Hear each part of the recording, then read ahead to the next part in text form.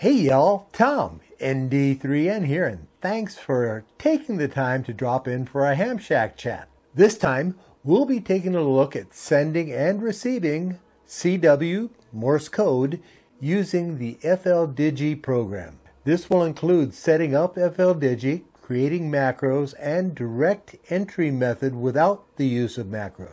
I'll also show you how to connect to the N3 FJP amateur contact log to preserve your QSOs for posterity. I've added chapters to the video description so you can quickly move within the video to view or review what you need to know.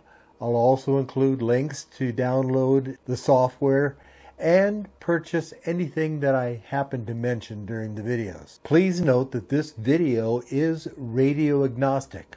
Now I did use my ICOM IC7300 but you should be able to adapt the instructions for your rig.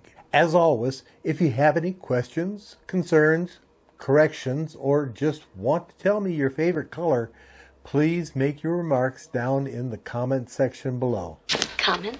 On FL FLDigi, we're going to start by selecting our operation mode by clicking Op Mode and clicking CW. This tells FLDigi what to expect. Then we're going to come down directly underneath the frequency and there's a little pull down menu. You want it to be in CW. That is going to set our rig to CW. Next, we're going to come up here to Configure, Configure Dialog, Modem, click on CW.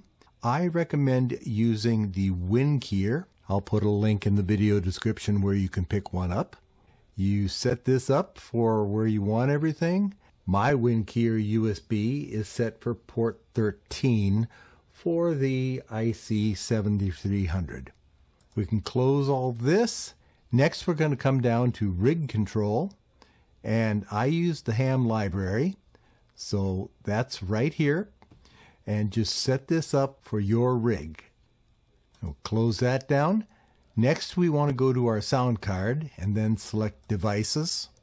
Select Port Audio here and set your audio codecs to the one for your rig. We'll save that and close that. That completes everything you need to do on FLDigi for now. We will come back and re-explore some more options later on in the video. Before we move on to creating and using macros, and if you're enjoying this and or have learned something so far, please take a moment to pop that thumbs up icon and give me a like. It was fun. Now you notice we have space for 48 macros. And I've got them all cleared out right now, except for these over here. But I wanted to show you how to set this up. You want to come to Configure, configure dialog, then select UI and come down to macro buttons. Now when I first loaded this, I only had two rows up here. When I selected down here, four bar macro set below TX, and this is your TX window over here, I can move them to the bottom, and deselecting that moves them up here. I don't know why I lost my two. I've done everything that I can think of to get my two lines back, but I can't figure it out. So if somebody knows how to do that, please leave a comment for me down in the video description and I'll go ahead and put out another video appending this one. But for now, let's go ahead and save and close this.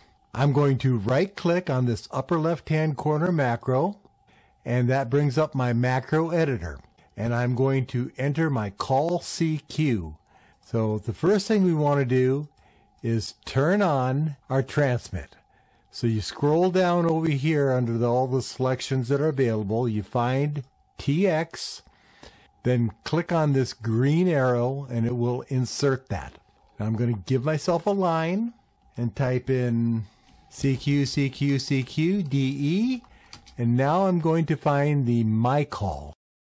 So with my call selected, I'm going to click the green arrow, give it a space, green arrow, give it a space, green arrow, give it a space. I'm going to enter the letter K.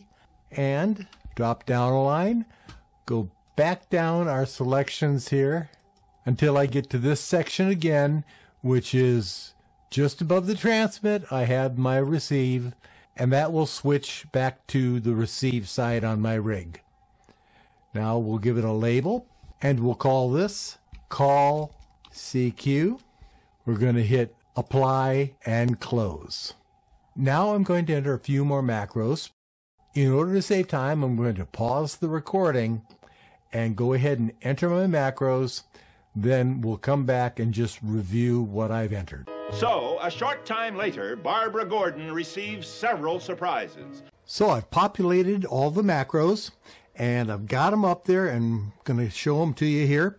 Starting with the my call CQ, which I made a change to when I did this.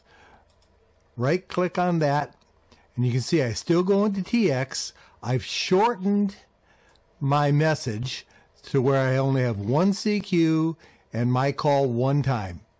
Then I go into receive. Then this one after three, and that forces a repeat. In other words, after you send this, wait three seconds and send it again. This number here, the number three, can be changed to any value in seconds that you want pause between sending your CQ message. We'll get out of this and let's go to the next one, answer CQ. Now somebody's been calling CQ and I answered it. So it's going to transmit, end and receive. The message is their that person's call, my call, my call. And I'm going to put my wife's call sign up here. Also, when you're doing this, you can just click on the call down here in the receive box and it will populate up there automatically. So we'll just apply that. And I'm going to close that. We'll come back to it shortly. This is my RST plus a little bit. So again, begins with transmit, ends with receive. It's the person's call my call. Thanks for the call. Your RST is RST, RST. RST is right up here. So say I received a 579 from her and I'm sending a 559. So we've now got that populated up there. I then go on to say that name here is Tom, QTH is Fayette County, Ohio, and I like to repeat those, and then get out with their call, my call, and KN. Close that and take a look at my 73. Now we have completed everything that we were going to talk about. So here we go. You go begin and end with transmit and receive the calls. Thanks for the QSO 73. The calls SK meaning the end of the conversation on my end. Now over here, sometimes you just want to toss your call out a couple times. So here it is, transmit and receive with my call twice in the middle. And I have this one, which I would encourage everybody to have something like this, rag chew. You'll notice that I start with transmit. I throw out their call and my call. Then I go and start rag chewing. I'm still in transmit. And end rag Right click on that. You finish up with how copy question mark their call, your call, KN, and back to receive. Now that we've got our macros made, and please don't just take my words here, go ahead and put your own personality into it. Add as many as you'd like Organize it any way that you want to organize it. You got 48 to play with. So this was just a nice demo to show you what could be done. But we want to save it once we get everything in there. So I'm going to go to File, Macros, and Save. Now, the one I have been using is this demo one. And I'm going to put down here CW Rag Chew. That's the title and we're going to save that. And now, if I want to, I can go here, click on open, and I've got CW Rag Chew right here. I click on that, and it will bring you right back to this. So you don't have to do that every darn time. So let's run through all of these. First off, if I were calling CQ, this is how it would come. I told you that I'm sending the short version and we're going to wait three seconds and you'll see that it repeats. And if you want to stop it, all you have to do is hit your escape key on your keyboard. Now we'll go ahead and clear all this. You know, I'm scrolling the as I come across a nice strong signal and the call sign that I'm working is AA6MZ. Now, AA6MZ happens to be a former call sign of mine. I don't know if it's been reissued. If it has been, I hope you're treating it well.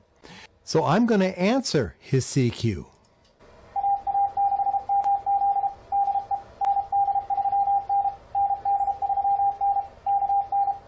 Okay, so I've answered his CQ. He comes back to me. He's going to give me uh, 569. I'm going to say, dude, you're, you're a little bit stronger than that with a 589. I'm going to send him my RST Plus.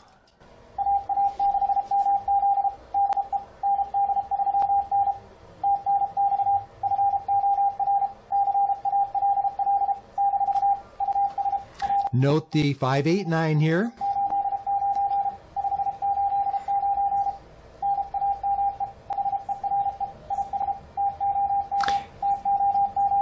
And rather than go through the rest of this, to save time, we'll just hit escape and call that one done.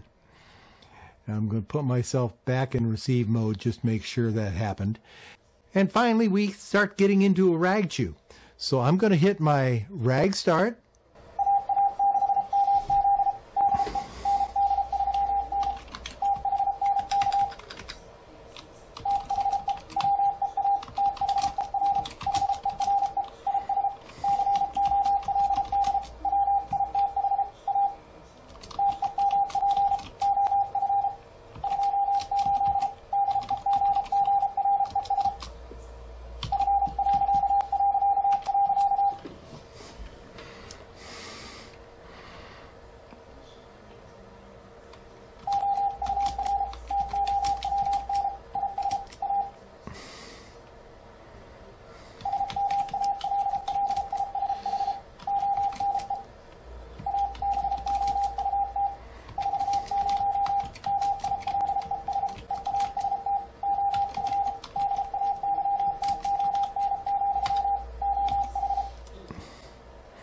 Now you notice I got ahead of myself and typed ON instead of OH. I was able to correct it before I sent, so that's actually what was sent. And I'm going to continue on. I'm just sending garbage stuff here. And when I get to that endpoint, I'm going to click on end. You see it populates it. There's how copy, their call, DE, my call, and KN. Finally, when it's all over, we send our 73s.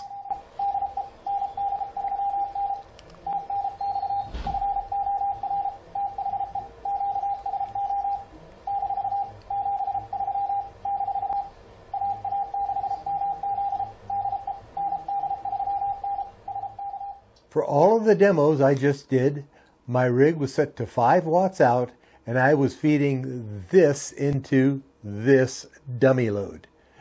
I really think everyone should have something like this in their shack for testing and troubleshooting without having to go out over the air. So I've put a link from my Amazon Associates account where you can buy this load and I'll get a small consideration from Amazon that does not affect your cost in the slightest. One more quick section before we put a bow on it. Please share sharing information with me this video with your friends, compatriots, and cohorts in the ham radio community, especially on social media. So the title of this was FLDigi CW Setup Plus. This is the plus part. I have added N3 FJP amateur contact log here, and you can use any of the N3 FJP logging programs, contest logging programs. And we're going to start by here in the amateur contact log, we're going to go to settings, come down to rig interface. We're going to ensure that we're all set up. I've got this currently set up on COM25 and we're done. You see I am polling. Next I want to come up here to settings down to the API and you want to check this block right here TCP API enabled server. Remember that you're on port 1100. For now, we'll just leave this up because we're coming back over here. We're going to hit configure, configure dialog. We're going to open up the logging tab. We're going to select N3FJP log. But notice there's also MacLogger, EQSL. You can log directly to Logbook of the World. Then there's Cloud Log and QSO logging. We're going to pick N3FJP and you'll notice that I'm on port 1100. This 127.0.0.1 is your local host. It's uh, generic, it's always used, and it's basically your local computer. Now, 1100, we're going to connect, and here in a second, our connection will be confirmed with this uh, little carrot here being filled in in green. We're going to close that. I'm going to click done over here. And now let's uh, let me come up with something here. I'm going to put my wife's call sign back up here. K3TAM. And you can see I've got K3TAM here and it's all good. And say we go all the way through this and we got all of our reports so let's say she gave me a 589. I can never be perfect. And I give her a 599 because she's always perfect. I want to make sure that's CW. And I've I've come up with another log. I added another macro here called logit. And you see that that just is the log command. I'm going to close that. I'm going to go logit and you can see that she has now been added to my log. And that wraps it all up. Please remember to like, share, comment, and please consider subscribing to this channel. As always, I'm at your service. This has been a Ham Shack chat about CW, FL Digi, and, oh, by the way, N3FJP. 73 until the next Hey Y'all. I'm Tom, ND3N, and I am out. Finally.